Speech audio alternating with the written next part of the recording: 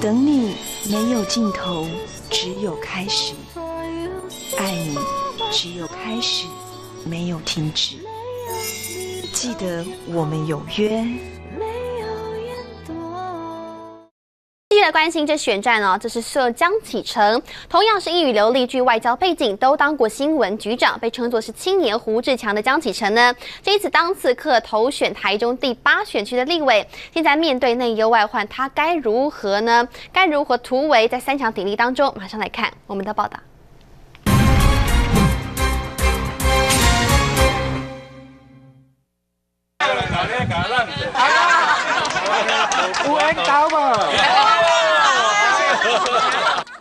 来到地方选举，江启臣深知婆婆妈妈选票一票都不能少，每每出招大打个人魅力牌。这件代志，你用婆婆来做哈，你绝对有放心啦哈，会使的吧？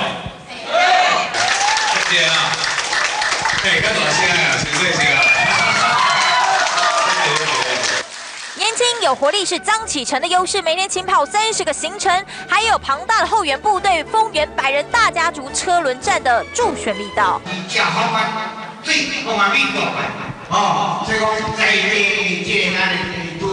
在地处边前吼，来甲当年赋予青年胡志强的称号，期待被延揽入阁，出任新闻局长。政府化妆师不好当，江启臣成了最低调的内阁成员，反而回故乡当刺客，让他有发挥空间。比较多元的啊接触面哈，还有跟民众的互动面，我相信应该不至于会会发生。去年市长选举的状况，胡志强的选战启示录将启程评语含蓄，但他投入了台中第八选区，以囊括了十二万投票人口的丰原区为重，蓝绿都喊出输赢看丰原。上回直辖市长一仗，胡志强输了七千票，让江启程倍感压力。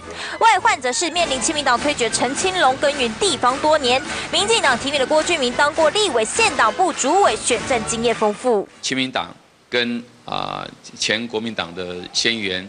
车淑娟再继续参选下去，坚持参选下去的话，我想对我们的选情是会有所帮助。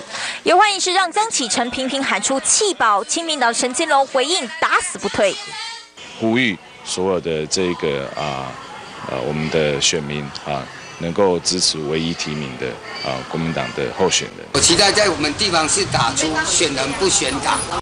犯了内讧，摆不平，绿军趁势而起。胡志强在这里输掉的七千票，怎么找回来？江启臣步步为营。